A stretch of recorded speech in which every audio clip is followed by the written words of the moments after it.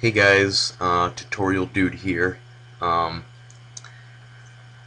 today I'm going to show you how to make your own ringtones for your iPhone. And um, this only works if you have an iPhone. So if you have any other phone, this tutorial is not for you. So let's go ahead and get right into it.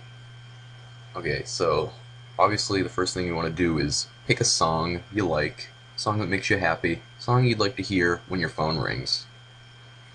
So I've just created an, an example file. So first thing you want to do once you have your song picked is right click the song on iTunes, go down to create AAC version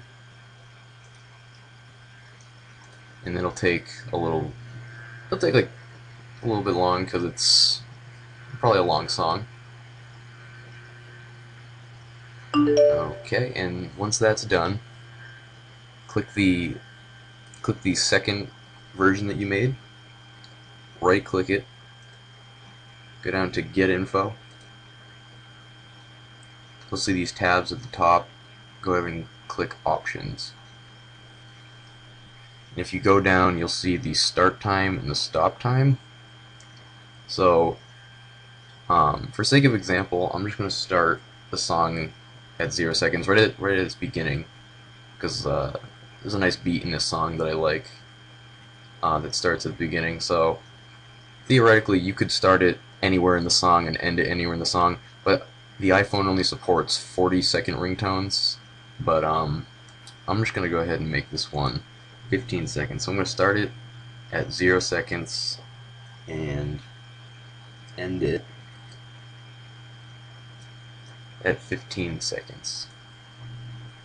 So then once you're done configuring all that, go ahead and hit OK.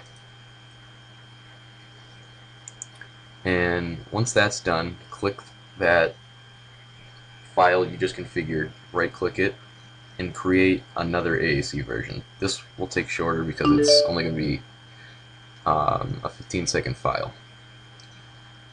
So this essentially is your ringtone, this file that has a 15 second playtime. So what you're going to do now is drag that tone to the desktop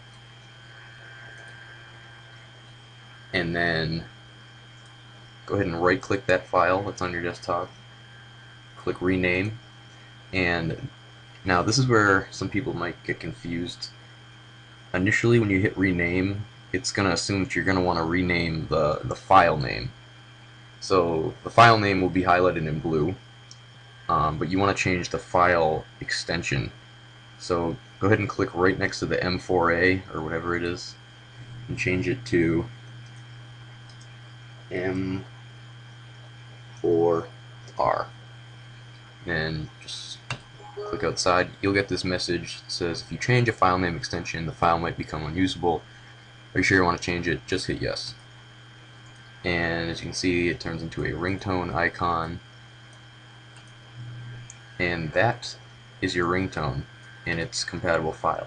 So now go back to iTunes. Go to File, Add File to Library, and uh, go to wherever your desktop is and look for it. Look for your ringtone hit open. And then you'll see on the left side of your iTunes, you'll see a, in, under your library folder, you'll see ringtones. Click on that, and it should be right here. This is the ringtone I made. And then, you know, obviously sync up your sync up your iPhone, and uh, go ahead and change your ringtone and under custom should be the ringtone you created. Thanks guys, have fun and subscribe and thank you for watching my other videos.